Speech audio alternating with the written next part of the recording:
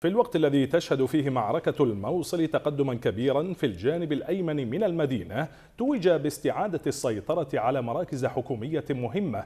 جال رئيس الوزراء حيدر العبادي في الموصل وأربيل والسليمانية حيث التقى رئيس الجمهورية السابق جلال طالباني كما التقى في أربيل رئيس إقليم كردستان مسعود البرزاني.